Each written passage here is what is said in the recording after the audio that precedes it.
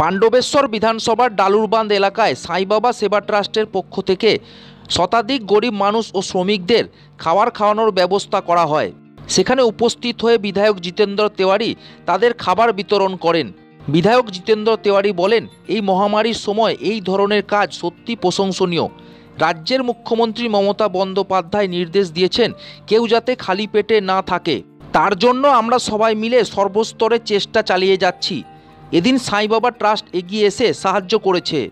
তার জন্য সাইবাবা সেবা ট্রাস্টকে ধন্যবাদ জানিয়েছেন তিনি। এদিন তিনি নিজে হাতেই সকলকে খাবার পরিবেশন করলেন।